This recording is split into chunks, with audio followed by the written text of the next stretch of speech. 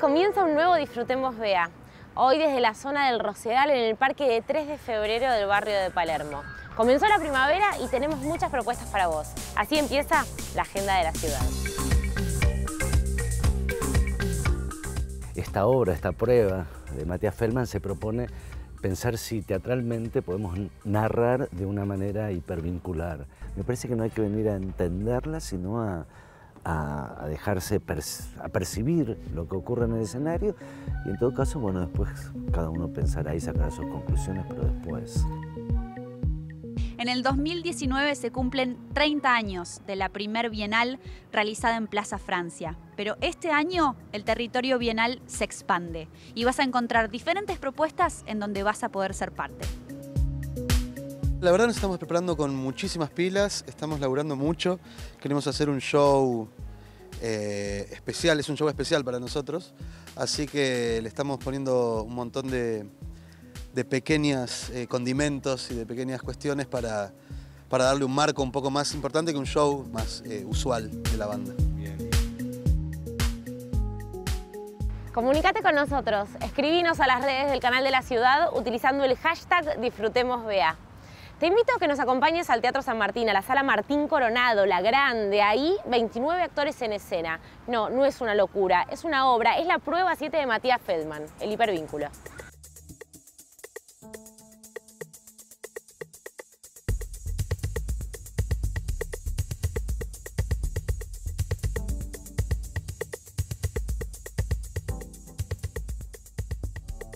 Estamos en la sala Martín Coronado del Teatro San Martín fuera del micrófono te contaba que cuando venimos acá siempre admiramos lo que es este escenario, ¿no? es muy impresionante. Muy especial, no creo que haya muchos así. Es, es, enorme y que tiene muchísimas posibilidades y además hace que si la obra va bien y viene, viene mucha gente, el, contacto, la sensación con, con, esta sala llena de estar arriba de ese escenario gigante es, es muy, muy potente, es muy poderosa.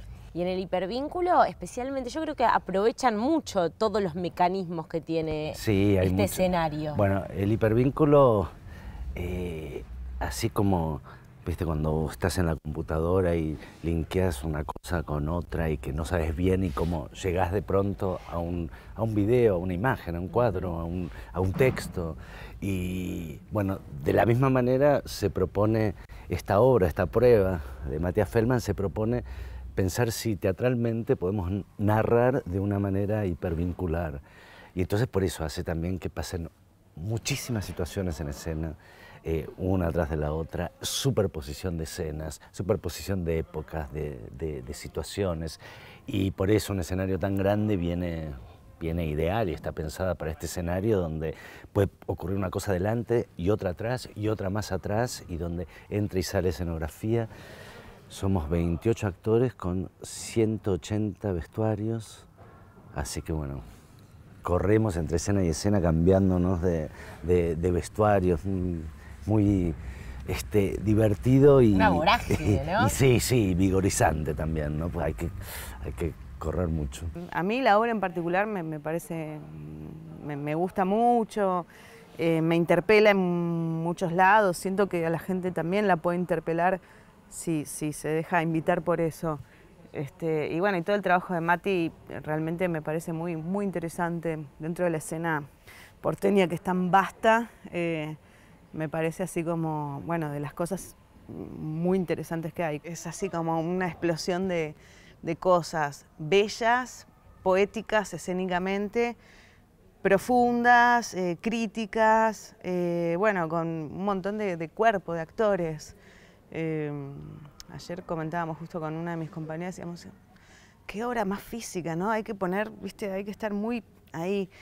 Yo no sé muy bien cómo es la vivencia del espectador, la puedo imaginar, este, que, sí, que siempre estás mirando algo y sentís que te perdés otra cosa. Entonces, bueno, tal vez al volver querés ver esa otra cosa, hacer foco en otras cosas. No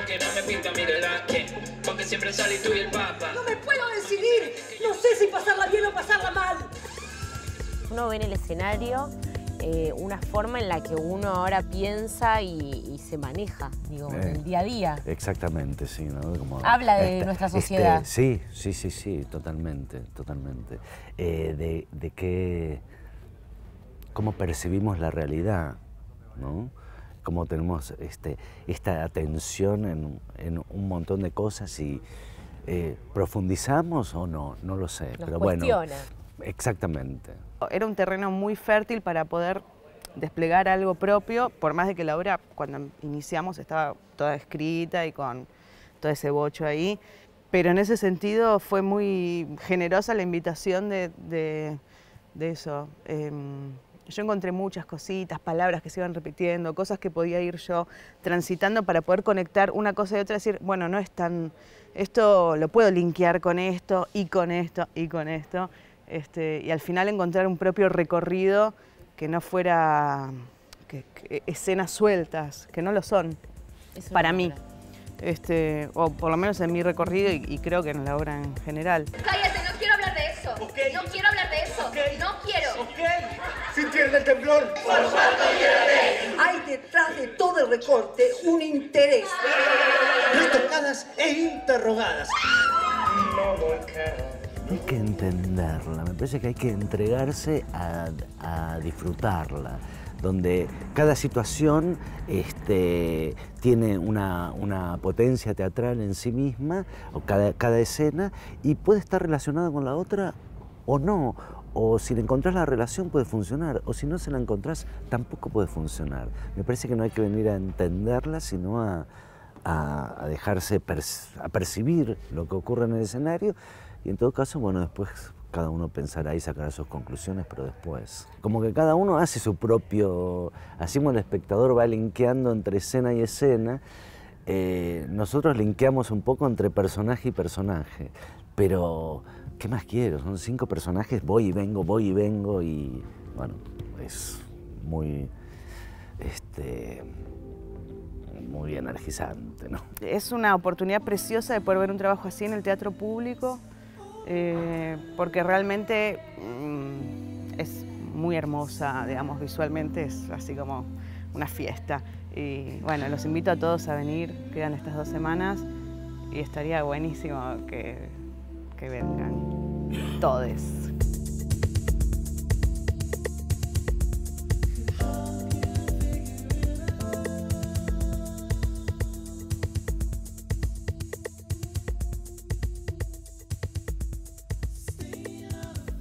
Podés ver el hipervínculo en la sala Martín Coronado del Teatro San Martín. Ahora nos vamos para el Recoleta porque estamos en plena Bienal de Arte Joven de Buenos Aires y Elis conversó con Florencia Gómez García, la bienalista de literatura que presenta su novela Chau Chau Chau.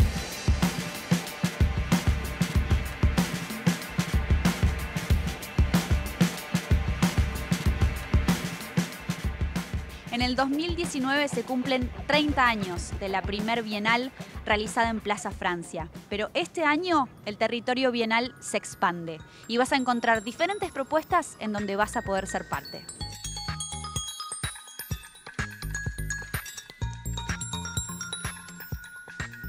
Flor, contame de tu novela. Bueno, mi novela se llama Chau Chau Chau y es la historia de un adolescente que en el 2001 gana un departamento en Puerto Madero mandando unas tapitas de yogur a un programa y nada, es, la novela trata de todo ese tiempo que ella tiene que esperar para que le den un departamento, digamos. ¿Y cómo viviste el proceso creativo acá adentro? Bien, estuvo buenísimo porque fue un proceso... Eh, colectivo y compartido también con, compañeros y compañeras, entonces eso para salir un poco del lugar como de, estar sola estuvo buenísimo para, para compartir experiencias y el proceso y todo eso, estuvo bueno. ¿Crees que creció la obra en base a estar acá en el marco de la Bienal? Sí, sí, creció un montón. De hecho, yo tenía bastante poco escrito y, acá en el, en el, taller que hicimos con, con Hernán Roncino eh, la terminé de escribir, así que sí, sirvió bastante.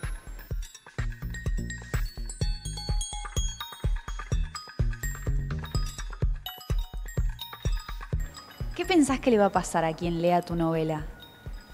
Es una buena pregunta. No sé, espero que se rían en algún momento. Que, no sé, que, se vean un poco también ellos y ellas en el texto. eh, trata de, de tener cierto humor y bueno, no sé, espero que, que se la puedan disfrutar y se puedan reír. Podés conocerla Florencia Gómez García en la Bienal de Literatura en el Recoleta. Luego de la pausa hay más propuestas sobre la Bienal y también la recomendación de mojo para esta semana. No te vayas, ya volvemos.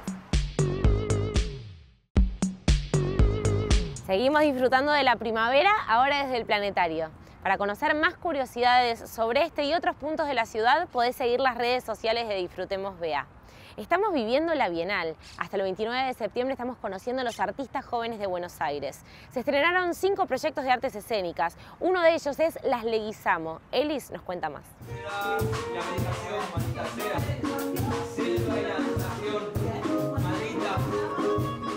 Chicos, cuéntenme de qué se trata la obra.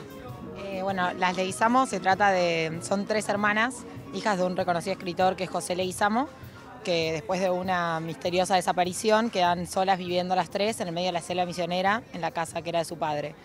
Y dicen que, que el padre dejó un texto inconcluso y que esos manuscritos tienen mucho valor, entonces dos hermanos de Ramos Mejía, que son los hermanos Brito, emprenden un, un viaje a la selva a encontrar esos textos y robarlos para venderlos. ¿Cómo llegaron a la Bienal? Bueno, en principio la obra nace en un grupo de, del Esportivo Teatral coordinado por Mariano Saba, en el cual trabajamos con el universo estético de Horacio Quiroga, como un estímulo para improvisar, y ahí se fue construyendo esta escena, que a medida que iba avanzando el proceso iba, iban apareciendo momentos musicales, canciones, y en un momento teníamos una escena bastante larga con un par de canciones y se abrió la convocatoria de la Bienal. Entonces ahí dijimos, bueno, tenemos los requisitos básicos, mandemos. Quedamos para esta convocatoria que era para producción de obra de teatro musical, en la cual quedaron 10 obras seleccionadas, participantes de un seminario de producción de la obra. Y bueno, terminamos de escribir la obra ahí en ese seminario. Después de las 10 quedamos seleccionadas como la obra ganadora de, producción de obra de teatro musical de la Bienal y, y, bueno, eso, ese fue el proceso. ¡Agustín! Hermano, ¿dónde te metiste?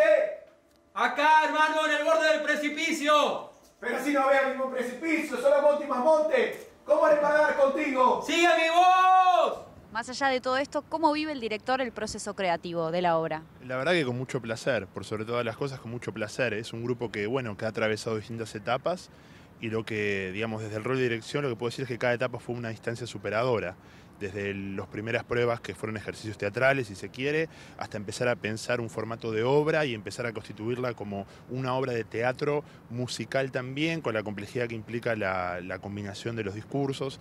Y la verdad que cada vez eso fue creciendo, creciendo, creciendo, incluso este, para nuestra sorpresa, no por, falta de confianza, sino por cómo se fueron definiendo las cosas. Y hoy en día tenemos una efectividad muy grande de una buena obra, creo que es ágil, creo que es divertida, creo que es poética por sobre todas las cosas, buenas actuaciones, con una música la cual nos gusta mucho también. Eh, bueno, en el Teatro Picadero, nada, este, con muchas expectativas y alegría sobre todo, sí.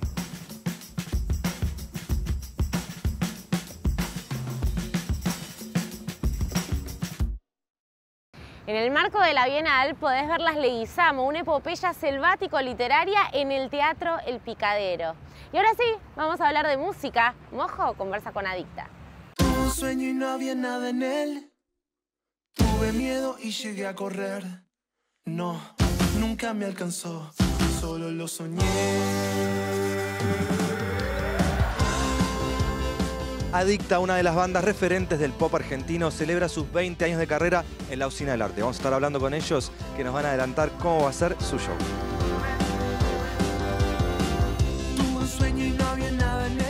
Joaco, ¿cómo se prepara Adicta para el gran festejo de los 20 años?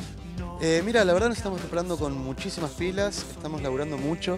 Queremos hacer un show eh, especial, es un show especial para nosotros. Así que le estamos poniendo un montón de, de pequeños eh, condimentos y de pequeñas cuestiones para, darle un marco un poco más importante que un show más común, más usual de la banda. ¿Y cuáles de esos condimentos puedes contar para adelantarnos un poco lo que va a ser la celebración? Mirá, eh, algo que nos tiene muy contentos y muy orgullosos, va a estar tocando de invitado Zeta Bocio, eh, con nosotros un tema, para nosotros un sueño, por supuesto, que semejante monstruo se haya, se haya copado de venir, de venir, se vino hasta la sala, ensayó, se aprendió el tema, tocó, es un genio. Eh, así que ese es un momento fuerte del show, de lo que tenemos preparado, entre otras cositas que ya vamos a ir, bueno, que ya se van a ver. Bien, también hay un vínculo con Benito Ceratis, ¿así? También va a estar Benito. Bueno, pocas sorpresas me van a dejar así. Bueno, pero ya esto ya me parece que lo sabemos todos. Benito es un amigo, es, sobre todo es un amigo de Rudy, es un amigo de, de- de la banda. Y aparte es alguien que nos encanta lo que hace. Nos encanta tanto su personaje como su obra. Así que para nosotros también está buenísimo que él esté acompañándonos. Así que sí, va a estar ahí.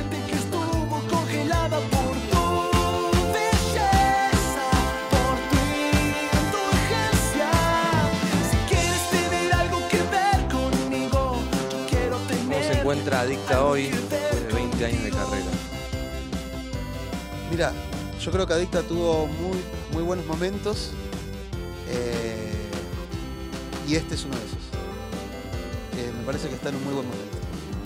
Bien, y en este buen momento que me estás diciendo, ¿están preparando algo de estudio? ¿Están grabando? Estamos, la, la idea que, que empezamos a encarar es más, eh, en lugar de encarar un disco, a la redundancia, completo, eh, empezar a, ir sacando simples en las plataformas. El formato virtual este, es mucho más amable de esa manera. Este, los plazos de laburo son más cortos, entonces puedes ir sacando novedades como más, más rápido. Así que sí, eh, hace uno o dos meses sacamos un tema nuevo, Ruido Negro. Lo pueden escuchar en todas las plataformas, en YouTube hay un videoclip muy lindo. Eh, y ahora ya tenemos terminado, recién, recién terminado, el tema nuevo, nuevo, que se llama Limpio y que va a salir la primera semana de octubre en todas las plataformas eh, de streaming. Bueno, ustedes fueron una de las bandas de esa camada de fines de los 90, principios del 2000, de, de grupos de pop, que bueno, que también estaba Miranda. ¿Cómo ves la escena eh, hoy en día en, en Buenos Aires? Yo creo que la escena está pasando por un momento excelente. Hay muchísimas propuestas espectaculares, desde pibes muy chicos hasta gente con más experiencia que ha resignificado, retransformado su obra. Eh, me parece también que estamos en un mar enorme de oferta de música. Entonces uno tiende a pensar que porque hay tantas cosas y por ahí primero se cruza con algo que no le gusta y la escena... Pero no, el problema es que hay mucho y decir que es un problema es casi ridículo, pero, pero también dentro de ese mucho hay muchísimas cosas espectaculares. Yo creo que es un, también es un- una muy buena época para la música argentina. Si es que podés hacerlo, ¿cómo definís el sonido de Adicta? Porque la verdad es como un crisol de, de muchos sonidos y audios.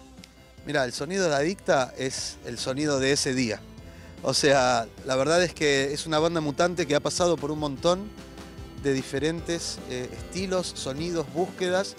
Y si hay algo que me parece espectacular y que me pone muy feliz, eh, la banda siempre está en, en una búsqueda sonora y estética, así que no te lo puedo definir ahora, te lo puedo definir por hoy si querés.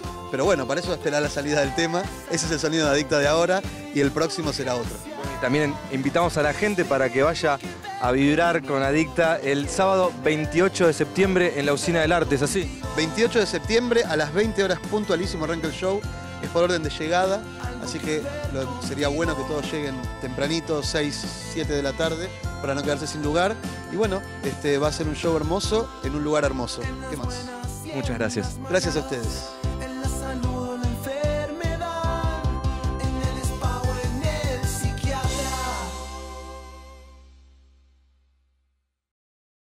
Te recomendamos que veas el hipervínculo en el Teatro San Martín, la celebración de Adicta en la Usina del Arte y propuestas para la Bienal. Pero todavía queda más. Te invitamos a conocer los recomendados Disfrutemos Vea de la semana.